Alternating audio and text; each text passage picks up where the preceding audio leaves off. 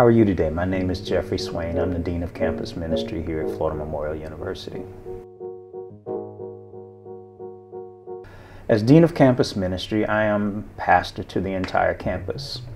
Uh, this is my 10th year here at Florida Memorial University, my fifth as Dean of Campus Ministry. And in that role, I serve a lot of functions. One, I officiate at official ceremonies that we have here, like Convocation and Founders Day and Baccalaureate Service.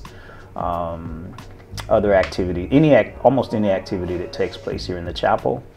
Uh, we have Sunday worship uh, each week at 11 a.m. Uh, we have Bible study on Tuesday nights. We have a praise and worship time once a month. Uh, I'm here every day for counseling for our students should they need it. I'm here for daily prayer if they need it. I participate in prayer with everyone from the president to faculty members to students and any other person on campus who might need that support. My job is to make this the spiritual center of our university, um, to make uh, faith important on our campus. We try to be interfaith, which means we try to recognize all faiths, um, and we try to be ecumenical, which is there are a lot of different versions of the Christian faith that we interface with. We have Catholic students here, as well as Lutheran students and folk from a whole host of other Christian denominations, but our goal is to be spiritually supportive of all members of our campus community.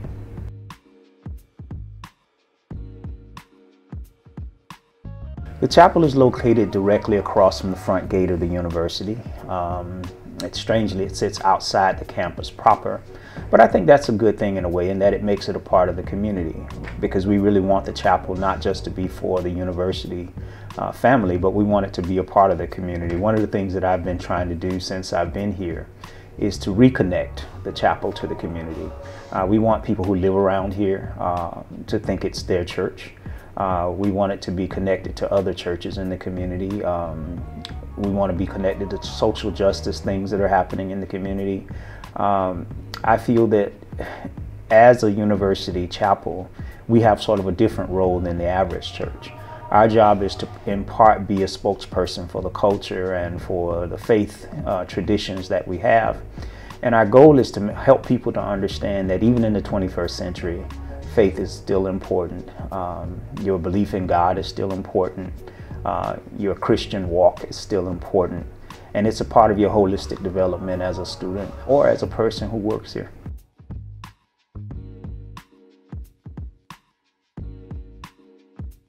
Our services happen every Sunday at 11, and we specifically hold them for one hour. Um, of course, since a large part of our student population uh, attends, since a large part of our population are students, we try to be cognizant of their time. And also as a person who grew up in the Baptist church, um, who went to church for three hours on Sunday, I, I, think we can be more economical about how we use people's time. And if we bring them here, there's a central purpose when we come here. The purpose is to give them God's word. It's not to put on a show or to perform. It's to try to help them to understand um, that your constant development of your faith perspective is important to your to your life. Uh, we live in a very complex society. There are a lot of demands on people. Uh, often a lot of confusion and frustration and depression happens out of the culture in which we live. Uh, but we try to help people to stay centered and we try to help them to stay calm and we help, try to help them get them to use their faith as a barometer for keeping their lives going in the right direction.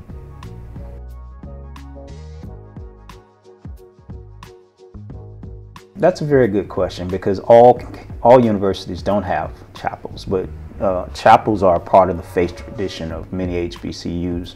Many of the HBCUs that we know of were started by um, various denominations, the Methodist Church, uh, the Baptist Church, um, and all of us generally are connected in that way.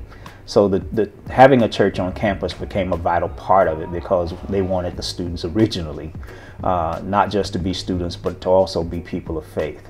Uh, as the chapel has evolved on different campuses, as I said, you know, it, it's more than just the focus on that particular faith. I mean, we have students from Africa, we have students from Latin America, we have students from Europe, And all of them bring, bring different faith traditions. And not all of them are Christian traditions. We have uh, Muslim students here, and we're working to try to, to create places of, of, of, prayer and worship for them as well. Uh, but the building belongs to our students. Uh, I try to get them to understand that you don't have to be a Christian to use this building. Uh, our goal is to make this the center of spiritual uh, self-worth on the campus, I suppose and the building can be used by anyone. Uh, people think because we it's called a chapel that, that it's not available to everyone, but the truth is it is available to any student of any faith who wants to use it for a spiritual or religious purpose. Well, the goal is to make it personal. Um, faith can't be can't be a cookie cutter process. It has to be a process by which each, each person comes to a point of self-revelation where they believe that faith is important in their lives. You know, in my own case, you know, when I was very young at 17, uh, you know, faith was, was my choice. Um, when I joined a college or when I went to college, I joined a church there. I was able to be with that same church all four years, it, and it was a place for me to grow. It, it was also a place to socialize. It was also a place to uh, make connections for the future. And, and people tend to think of, of church in sort of an old traditional way, uh, but, but, but, but worship has changed. Um, here, for example, I'm not the only person who may speak. We like to bring in guests from the outside, uh, particularly you know those who are who are younger and in, more innovative in their thinking. I want our students to to be guest speakers at times uh, because it's good for them to hear the voices of their peers who are are centered in their faith and they want to grow in Christ or in in their faith experience. Um, I also want them to be leaders in, in our in our worship setting. Um, as I as I've pointed out, you know, we have student worship leaders, we have student praise team leaders, we have students dance liturgical dance leaders, we have students who serve as greeters. Uh, I literally try to let them take over the service on Sunday so that they can be fully involved and engaged. Uh, my job is to preach the word, of course, uh, but as often as possible, I want to encourage them to also speak to their peers. And, and it's not necessarily that they have to do a sermon, but as people of faith, they can share their beliefs, they can share things that the Lord has done for them, they can share the importance of faith as they walk through their college experience experiences. Um, they can show that they're growing. College is a time of total transformation. You change intellectually, you change spiritually, you change socially, you physically grow up into manhood and womanhood. And, and, there's a wonderful scripture that I like to quote to our students out of 1 Corinthians chapter 13 that says, When I was a child, I spake as a child, I thought as a child, I understood as a child, but when I became a man, woman, I put away childish things. It is a growth process.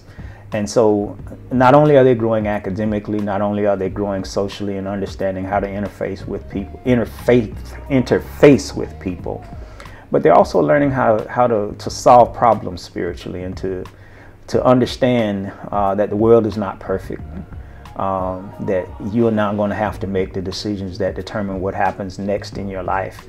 And it's always good when you have sort of a spiritual background. Uh, a prayer is an essential part of your, your development. Reading the word, whatever your faith tradition is, there's always a scriptural uh, aspect to it. And we want to just get students attuned to the idea of giving some time to their faith on a daily basis. Uh, one of the things I, I, I, say to students constantly is, you know, when phone telephones first came out, uh, they used to give you 1,500 minutes a month, which I think equates to about 25 hours or 28 hours or something like that. And I often ask them, when was the last time you gave your faith 28 hours in a month? Um, and if you think about it, that's not a great deal of time. But if you prayed that much, or if you read your word that much, or if you came to worship, if you integrated all of those things, um, you can give time to your to your spiritual growth. And that's what i want our students to understand that my job is to help them grow not to mandate anything for them.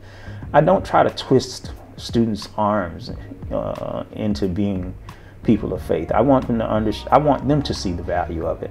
And sometimes that come through christ comes through crises that they go through uh, we have students who lose parents lose uh, brothers and sisters while they're in school um, they go through their bouts of depression and, and, and excitement.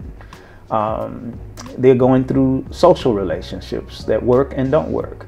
And all of those uh, bring them to different moments in their lives. And the goal is to get them to understand that they should not necessarily panic, but they have a, a support system through their faith to help them get through all of those experiences, which is what life is about on a daily basis. Every single day, you're going to be challenged about something. Every single day, uh, there's going to be a, something that you have to con- deal with, contest with, struggle with, or just be happy about. Mm-hmm. And, and in all those experiences, you need a certain balance to life, and that's what faith brings.